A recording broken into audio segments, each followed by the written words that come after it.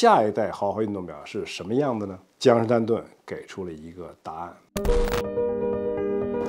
Hello，腕表流行力的粉丝们，还是日内瓦主场，这里是江诗丹顿的主场。日内瓦最早的记录是公元前四世纪，到了公元前五十八年，罗马将军巨了西萨在这里驻扎，把这个低调的城市打造成罗马帝国与日耳曼人的边陲重镇。后来，日内瓦成为珠宝之都，再后来开始做美丽钟表。钟表展会最早的是一九一八年的巴塞尔博览会，起于一战，止于新冠。历史上还有一个表展是起于二战，止于呃白宫为中国领导人铺上红地毯，这就是 Le Salon Mont a Bijou，也是在日内瓦。后来的 SIHH，顾名思义还是在日内瓦。今天的钟表与奇迹 Watches Wonders 是日内瓦表展的最新进化版。江诗丹顿的纵横四海，百达翡丽的鹦鹉螺，爱彼的皇家橡树等等，是公认的豪华运动表。那么下一代豪华运动表是什么样的呢？江诗丹顿给出了一个答案。在今年的钟表与奇迹日内瓦表展上，江诗丹顿发布了大量新品。我们先说说纵横四海陀飞轮和全金的绿盘的纵横四海。为什么是陀飞轮？为什么是全金？听我慢慢道来。这两年炒得沸沸扬扬的某螺停产，对下一代的各种猜想就开始了。至少到现在还在猜。江诗丹顿纵横四海已经做出来了啊。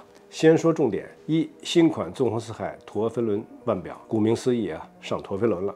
二、通体用钛金属打造，搭配该系列标志性的蓝色调表盘。三、配备三条可快速替换的表链和链带，分别为钛金属。小牛皮和橡胶材质，这在豪华运动表里相当于 B 五十二啊。其实，二零二二年纵横四海系列镂雕陀飞轮腕表已经是全钛金属的了，充分展现了纵横四海系列的旅行精神。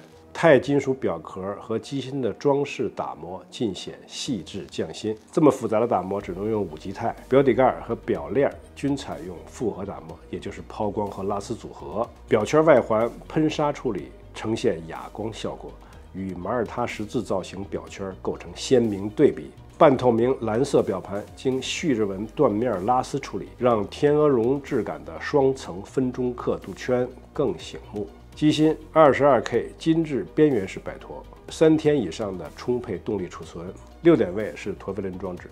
彰显出复杂功能在日内瓦品牌江诗丹顿在制表界的地位。不用中央摆陀设计还有一大优势，机芯的整体构架及精巧的装饰打磨细节得以尽现眼底。怎么样？纵横四海陀飞轮，纵横四海全金绿盘款，只是江诗丹顿今年钟表与奇迹表展的冰山一角。接下来的视频里，我会好好的跟你分享我看到的，所以关注我一下。